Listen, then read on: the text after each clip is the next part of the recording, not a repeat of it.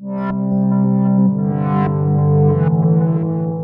you accept that there is a crisis in substitution in schools? And what actions will your government take to resolve Thank you. Deputy O Laoghaire. The first point I would make is that in relation to COVID-19 in schools, we have followed public advice from the very beginning. Now, I don't know whether the deputy and other deputies are suggesting that we suspend that approach, because I think de de deputies and public representatives seem to be assuming upon themselves Come on. The role of public health In all fairness now. in relation to schools. Taoiseach, in all Sorry, fairness no. sorry, Hang hold on a second now. No, I'm this is important no. We have That's backed very you. important. We have given you, Absolutely we have given you a lot of space and worked with you on schools. Sorry. So come on Deputy- now. Deputy- Come on Hold on now, be serious and answer the question. Deputy, I've And show some respect for the support that you've got from all parties on schools. That's a fact. What support?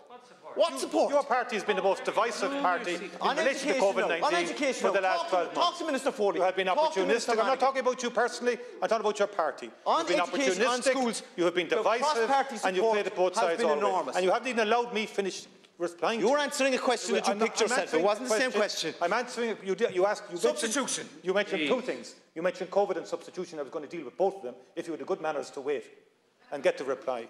The bottom line is this on COVID-19. I'm going to say it once again. We've adhered to public health advice. If you want us to jettison public advice, have the guts to say it and stop trying to hide behind blaming government. On the second issue in relation to substitution, of course there's a challenge in relation to substitution. There's a range of measures uh, that the Minister uh, uh, has put in place and uh, significant and substantive resources have been made available to the schools and to principals in respect of substitution and the Minister is open to doing everything possible you, to alleviate the pressures on principals in respect of substitution. Deputy Let Marian that be a Harkin. message stops you know, when they, Marian back, when they work with government. Cut out- cut That's out- the thanks they get. Cut out the blackguarding now, you. Thanks, they Cut out the blackguarding, you know. Have a little bit of time, please.